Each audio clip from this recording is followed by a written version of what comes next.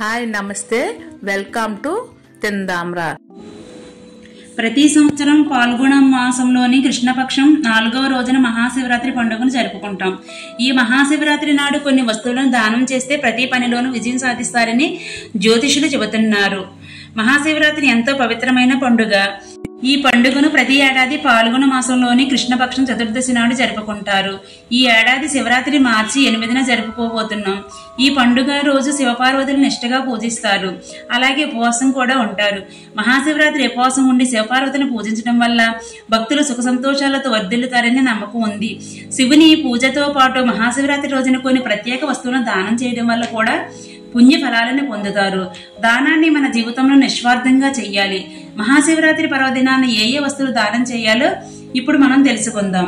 మహాశివరాత్రి పర్వదినాన్న మీరు నువ్వులను దానం చేయండి.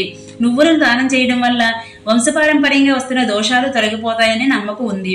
అలాగే పితృస్వరూపులు శాంతిస్తారని నమ్ముతారు. అలాగే ఆగిపోయిన పనులు కూడా పూర్తవుతాయని జ్యోతిషులు చెబుతున్నారు. వీటితో పాటు పాలను ఇతర పాల ఉత్పత్తులను కూడా దానం చేయొచ్చు.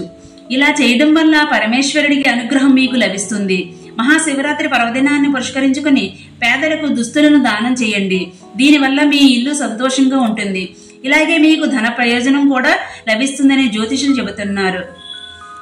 మీరు చేపట్టిన ప్రతి పనిలోనూ విజయం సాధించాలనుకుంటే మహాశివరాత్రి నాడు శివాలయానికి శివాలయానికి వెండి శి- శివలింగాన్ని దానం చేయండి. వెండి శివలింగాన్ని దానం చేయడం వల్ల సాధకుడు కోరుకున్న ఫలాన్ని పొందుతాడు.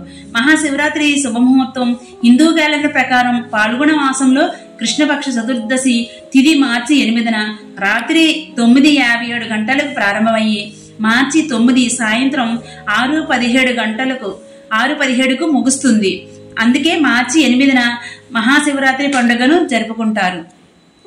ఓం నమ శివాయ. సర్వేజన సుఖినోభవంతు